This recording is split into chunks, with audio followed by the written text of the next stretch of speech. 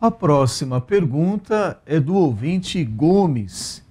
Ele pergunta assim ao pastor: Pastor, homossexualismo é doença? É obra demoníaca ou é uma questão de comportamento? Está escrito que a prática é pecado. Se é pecado, é uma questão pessoal de aceitar a proposta que recebe ou não.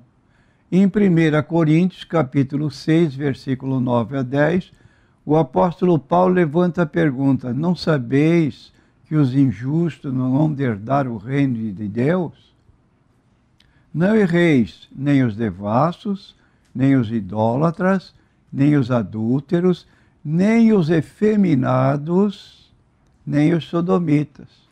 Então aqui estão nem os ladrões, nem os avarentos, nem os bêbados, nem os maldizentes, nem os roubadores herdarão o reino de Deus. Agora, diz o texto em continuidade que é o que alguns têm sido. Então a pessoa pode ter errado na sua vida, mas se ela tiver consciência de que está errando, pecando contra Deus e deixe, querer abandonar, Deus recebe essa pessoa. Porque ele disse, como já ouvimos, vinde a mim todos que estáis cansados, oprimidos, e eu vos aliviarei.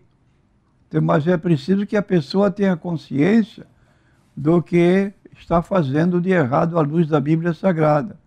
E ainda temos o livro de Levítico 18, 22, com homem não te deitarás como se fosse mulher. Abominação é, e vice-versa. Como diz o capítulo Roma, Romanos, capítulo 1, versículo 26, que quando a pessoa não se esforça para conhecer a Deus, Deus os entrega às paixões infames. O homossexualismo é uma paixão infame, porque quando Deus criou o homem e a mulher, ele disse: Crescei, multiplicai-vos, enchei a terra e povoai-a. Dois homens e duas mulheres juntos, como marido e mulher, não funciona, está fora do propósito de Deus. E aí há uma recalcitração, uma desobediência flagrante quanto ao propósito de Deus ao criar o homem. Nós hoje somos 7 bilhões e 600 milhões de, de pessoas.